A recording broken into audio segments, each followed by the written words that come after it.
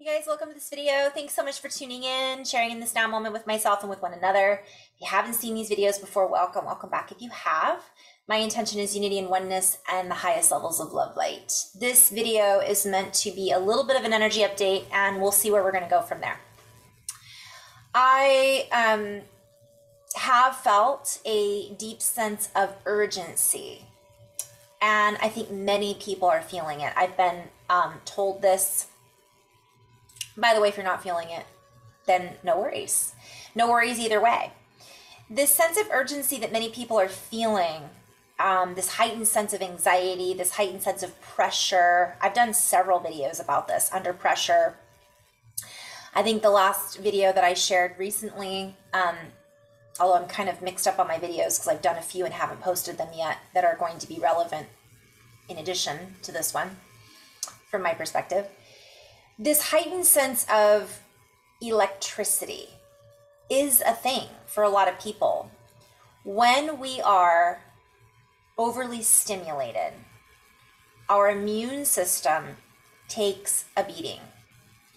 And I'm playing with this. A beating is in the heart, as in as in anxiousness. It's this fast feeling of electrical.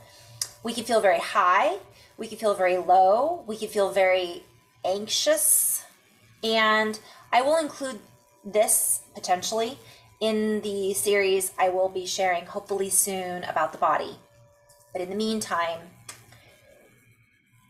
drink plenty of water, get grounded, get into the heart.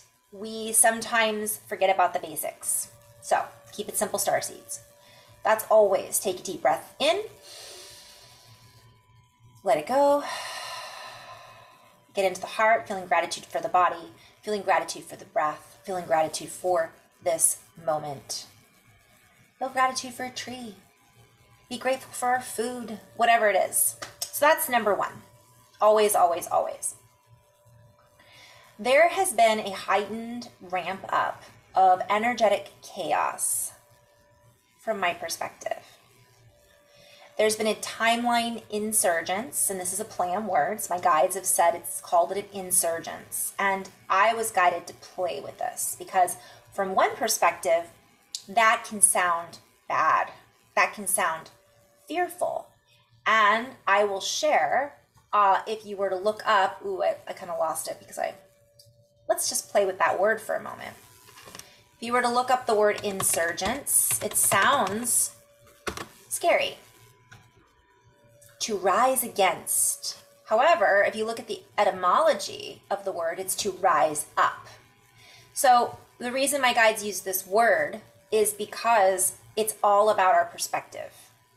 So we can feel this rising up because it literally is energy coming up in the body. It's our kundalini. It's our electrical conduit conduit currency that's coming up it is a um, a surge, a frequency, conduction. So when this happens, as within, so without, we're seeing this happen in the collective as well. And there may be things that we're seeing rising against, uprising, right? Why do uprisings occur? Well, from the us versus them perspective, it's because right versus wrong, good versus bad, whatever it is. From another perspective, it's an energetic movement. It's that simple. We have an energetic movement that's happening right now. And I know, I know some people are going, well, it's not that simple. There's a lot going on, Carrie. I know.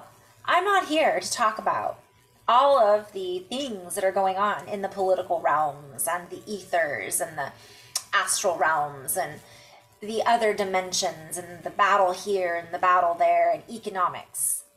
I can tune into all of that. And I have. I feel it.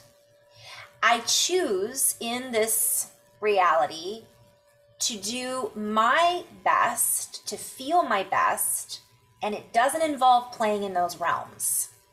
I'm making a conscious choice to utilize my frequency in the best way that I possibly can for the greater good of myself and others. Other people might really be gifted in those other fields. That's their choice to play in. I'm bringing this up because we don't have to play in the same pool that everybody else is playing in, even though the chaos would like to make us think that we do. So it's not wrong if we do, it's a choice, it's a vibration and a frequency.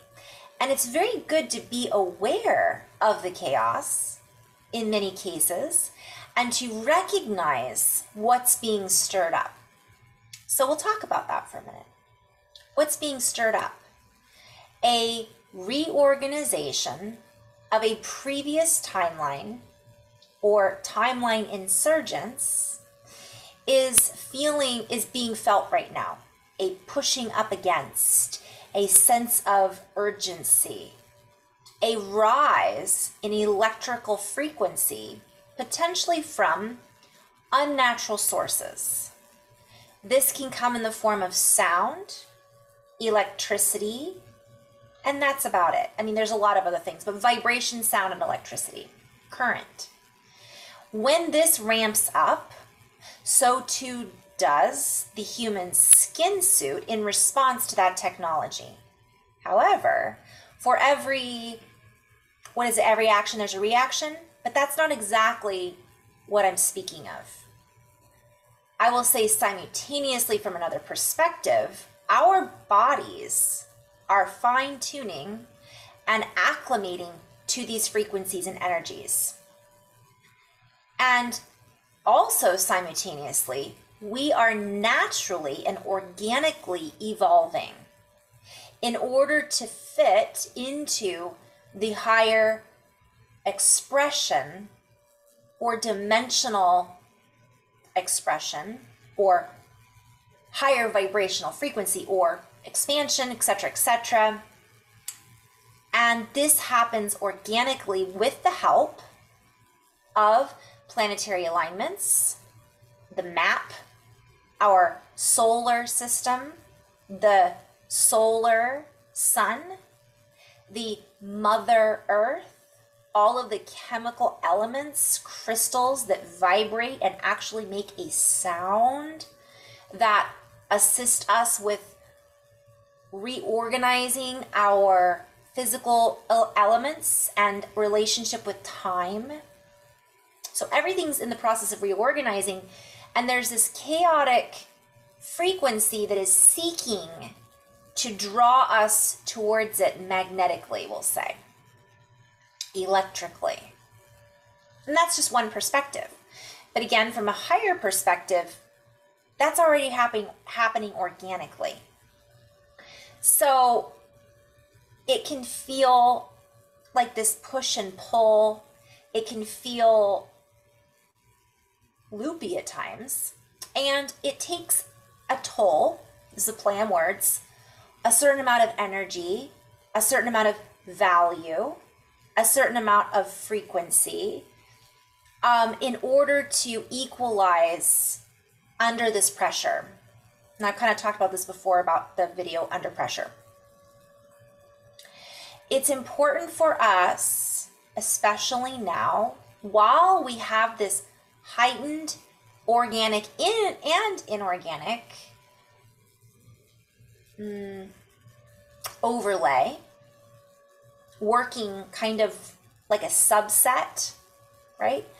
A bubble within a bubble to support our system in the best way we possibly can so that the inorganic stuff that's happening within the field or the soup that we are all coexisting within doesn't have the same impact on us that pulls us off of our own conduit.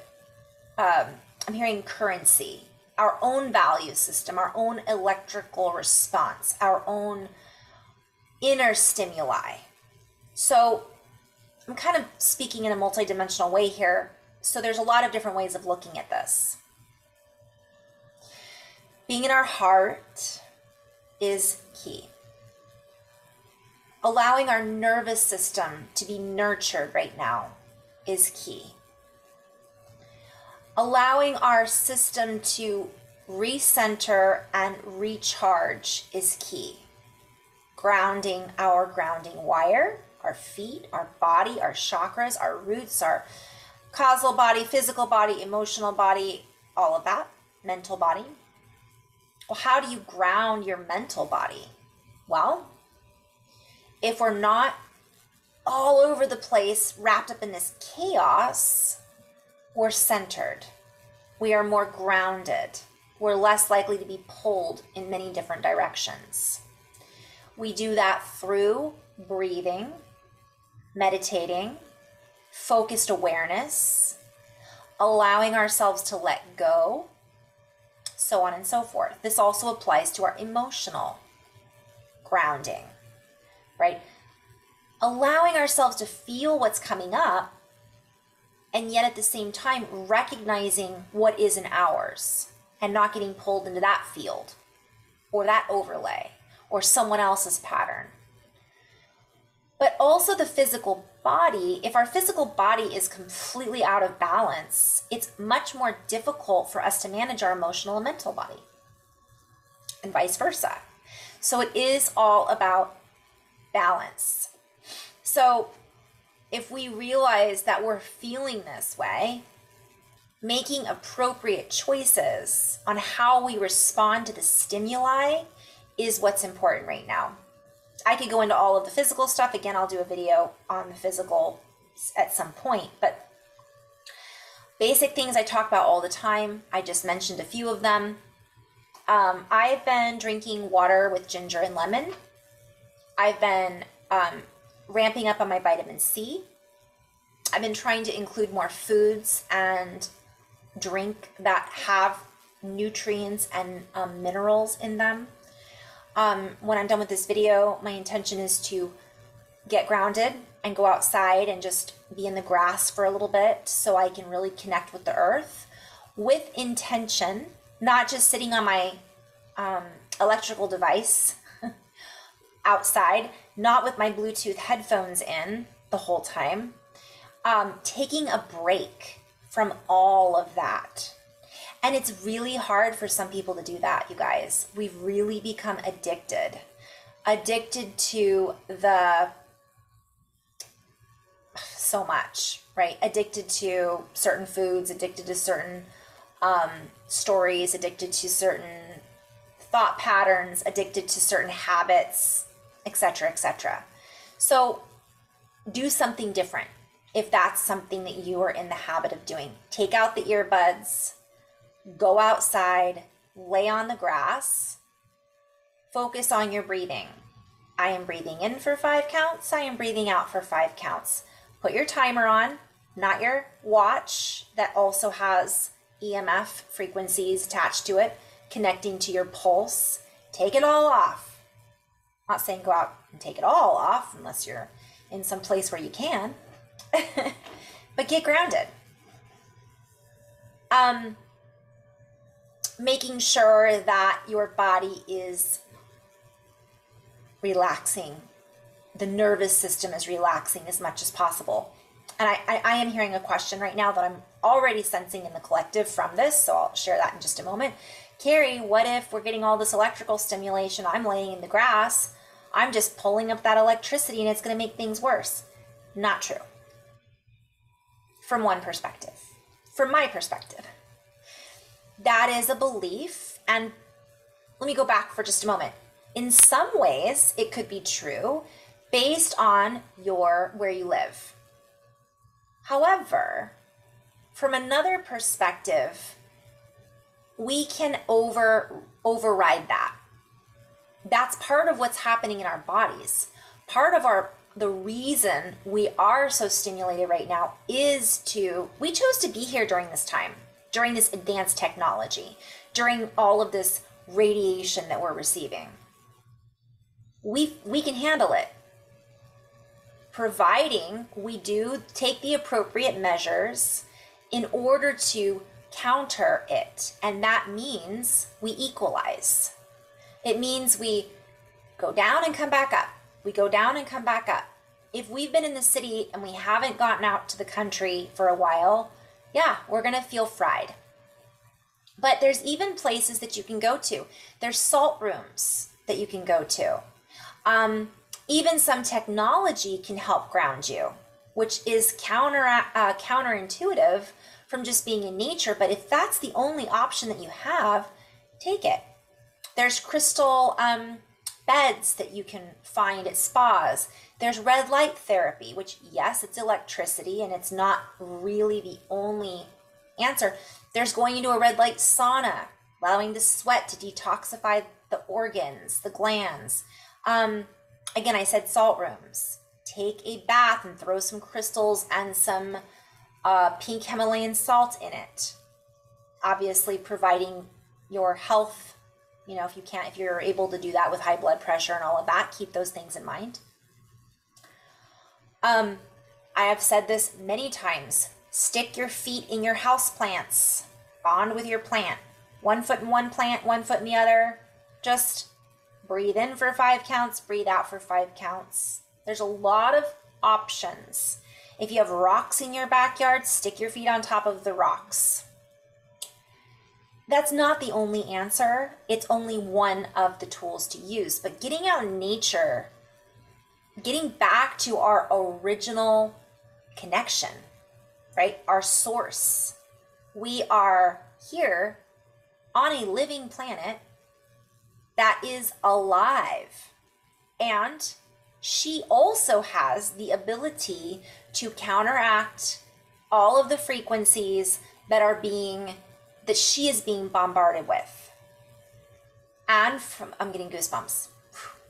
Even from one perspective, we, as human conductors of sound, frequency, and electricity, when we get together in groups and we center our energy into Mother Earth, are barefoot on the earth, when we sing, when we vibrate, when we become the tuning forks, we are also helping one another to counter the frequencies that are inorganic. Yes, this is what I've been shown, and I'm I'm just being called to share what I see. So, um, uh, well, bottom line is you have a wave and you have chaos. This is our incoherent electricity. This is our coherent electricity. These are the humans connecting into the earth. This is the sound, and it breaks up, scatters.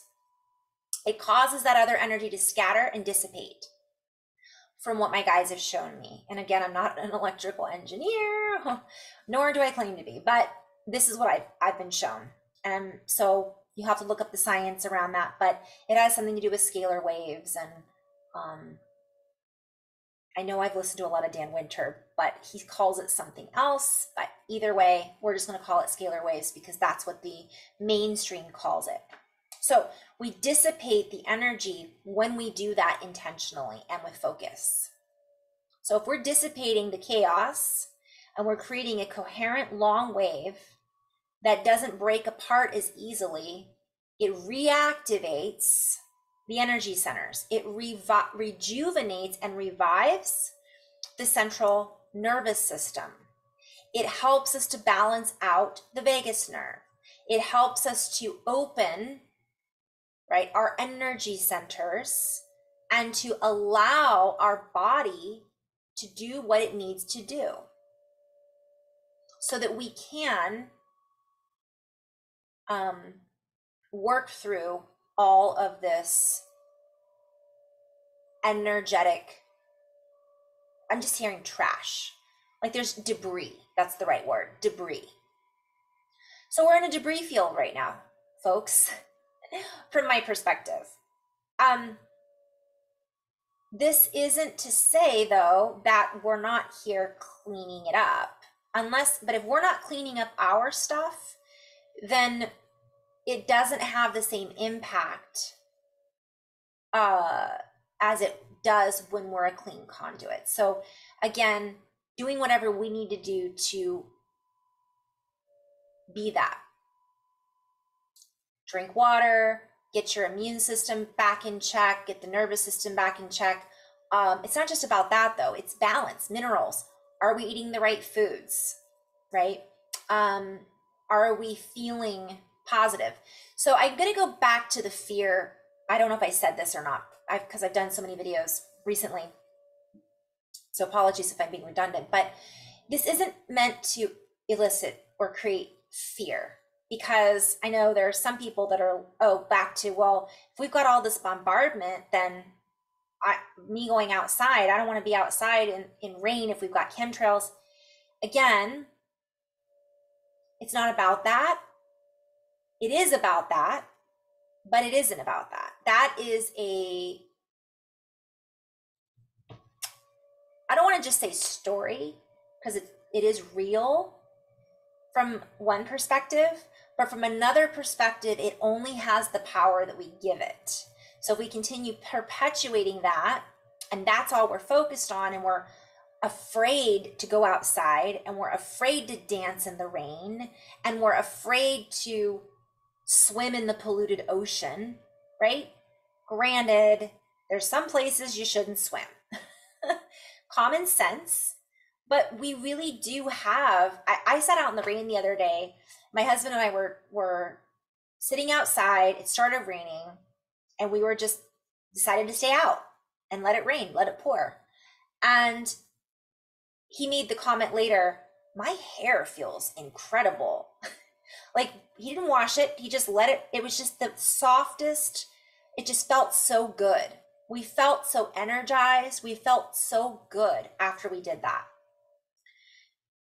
these are the things that the indigenous people do all the time or our ancestors did all the time and we've lost that connection quite quite often we don't we don't do it um so that's those are just some things while simultaneously it'd be a good idea to put a filter on your shower head right because we're not showering in rainwater um I bless the earth when I go outside. I give gratitude to the rain. We, our heart coherence goes out, our heart energy creates a bubble. And according to heartmath.org, I believe, three to 15 feet. So when we're in joy and bliss, it our energy field goes out 15 feet around us, maybe bigger. When we're feeling condensed, it when we're feeling under pressure, sad, angry, um, oh, I'm going to get to that in just a minute. It condenses and it doesn't go out as far. We don't have as big of a ripple effect, and it also has an impact on our body, etc., etc. So if we're sending out this signal, which is an electrical wave from one perspective, 15 feet out around our body, don't you think that's having an effect on the water that's falling around us? Don't you think that has an effect on the trees and the dirt that's under our feet? It doesn't just go out side to side, front to back, it goes up and down. And it's been measured. This is science. So the more we can recognize this and get out of fear about it, take our power back. It's not like we're taking it back. We can only take it back if we've given it away. So if we're going to give it away to give it away, give it away, give it away now. If we are, um, if we know that we're giving more power to something than ourselves, that is making our light less bright. We're not as shining as brightly. We're in a place of fear. So, this is the era. This is the time where many of us are starting to realize just how much energy we hold. Otherwise, why would there be this intense electric signal that's being sent out? Why would this sound energy be used? Why would we have certain things in our water and our foods? Right? There's a reason behind this in the old paradigm, the us versus them we are no longer ensnared within that paradigm unless we choose to be. And we sometimes make that choice unconsciously by continuing to perpetuate those stories. And I'm not saying they're not real. However, perpetuating those stories and not really doing, taking the action to change them is what I'm referring to. I'm perpetuating the story by sharing this information with you. But I'm not going into a space of retribution and anger. I've already been there, done that. And that's not to say I don't get angry sometimes. I do. I get triggered, I become frustrated, and I feel that energy in my body, and it doesn't feel good. We'll say that some people need that sometimes in order to break out of zombie, in order to break out of depression. Anger at least gets a little momentum going. But the more we perpetuate that, the more havoc it, it, re, it wreaks on our immune system, on our nervous system, and the less positive impact we have on our environment if that's what we're going for. So it's just a matter of science, but it's a matter of the heart, which also means bliss and love, which is an emotional feeling uh, from another perspective. Oh, there's so many different places I could go into. So I just wanted to make everybody aware this is what I've been sensing, feeling, and seeing. And we have every yeah we've got we've got the power within us to balance this out providing we stay balanced i'm, I'm being called to say another one more thing and then i'm going to end on this note we might get sick we might have to sleep for a week because we're really under the weather when our immune system and nervous system and everything is overtaxed, again, this goes back to value, goes back to what we've given our energy to. And sometimes it's not that we, and, and so I'm being called to share, it doesn't mean we've done anything wrong, wrong versus right. It's a matter of whenever I use the term right, I think of it as geometry, a right angle. It fits. Um, so it just is. Sometimes our body is telling us, I just need to reset. So we're gonna we're gonna let this happen. Boom. We're out for the count. It forces us not to do anything. And I refer to that sometimes as an upgrade. I've had um, sickness, and through a lot of the sickness that I've had, it's given me perspective It's given me an opportunity to see another side of myself. It's given me an opportunity to feel humble. It's given me an opportunity to feel grateful. You know, if you've ever been sick and you couldn't eat for a week, um, or if you've had, you know, the Rona, then you know how it feels. And it's so, gr- I'm so grateful when I come out of it like, oh, I'm alive. so sometimes that's something we need in our lives to experience in order to feel the fullness of life. That's not wrong. So, not beating ourselves up and not judging someone else. Oh, you haven't been taking your vitamins, right? This is all an experience, and our perspective about that experience holds the key that is um, my little energy update for now. And again, I will hopefully put together some physical or some videos about the body and all that. I keep saying this to remind myself to actually make it happen. So, in love and light, guys, hang in there. This is all, um, man, I got to say one more thing. I have met some of the most beautiful souls who are just incredible. And I am so grateful for all of the beautiful humans that are bringing so much light to the planet or better or more, more, other than that in addition to I'm so grateful for my experience in interacting and exchanging energy with the fractals of source that are all around that each one of us are.